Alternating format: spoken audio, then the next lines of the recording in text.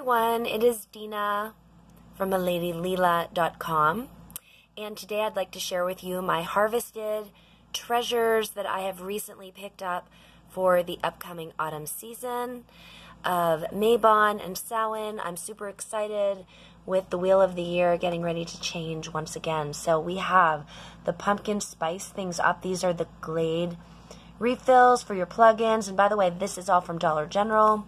And then back here, these are super cute. These are the pumpkin spice everything. Those are travel to go mugs, and you get two in a pack for a dollar. I've purchased them before, and they actually say take it to go. And I like them for like everyday use when I'm on the road, getting ready to leave the house here at the cottage and I want to take my coffee with me. But for the fall, I thought these would be super fun. Then I also picked up a two pack of the Glade candles, and these are the Jubilant Rose, Lavender, and Peach Blossom.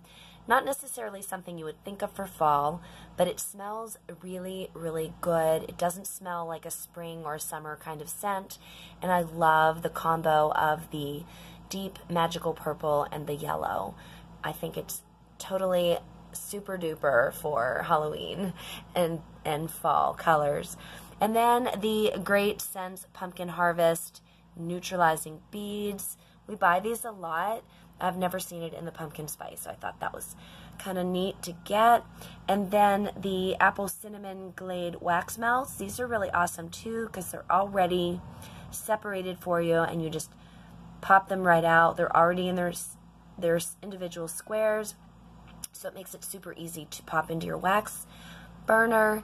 And then lastly, the Betty Crocker Pumpkin Sugar Cookie candle and I love these Betty Crocker candles. They're really awesome. I love the jars as well. They have kind of like fluted edges to them and what I like to do is I clean them out when I'm done with them. Both these jars and also the types of jars in the back and I load them up with wax melts. Well, I don't really load them up. I use one wax melt at a time. And I set them on my coffee warmer plate. It's really made for a coffee warmer, but I heat up my glass jars to melt the wax melts that I purchase.